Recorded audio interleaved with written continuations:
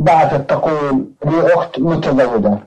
ولها أربعة أطفال. وزوجها مقيم في جدة حيث أنه يعمل هناك في شركة. وحين يأتي إلينا يقدم لنا بعض الهدايا كالملابس حيث أننا علمنا أنه يسرق بعض قطع السيارات في الشركة التي يعمل بها ويبيعها في الأسواق. هل الملابس التي تقدم لنا حرام؟ وهل تجوز لنا الصلاة فيها؟ علما بأن أختي لم تعلم بذلك. وإذا علمت سوف يحصل مش مشكلة كبيرة. لأنها عصبية جدا. ماذا يكون التصرف؟ جزاكم الله خيرا. إذا علمتم وتحققتم من أن هذا الذي يدفعه لكم أنه من السرقة فإنه لا يحل لكم. لأنه مال حرام فلا يحل لكم. ولا يجوز لكم قبوله. وعليكم رده إليه. وكذلك زوجته عليها أن تناصحه وأن تبين له أن هذا حرام ولا يجوز استعماله. نعم.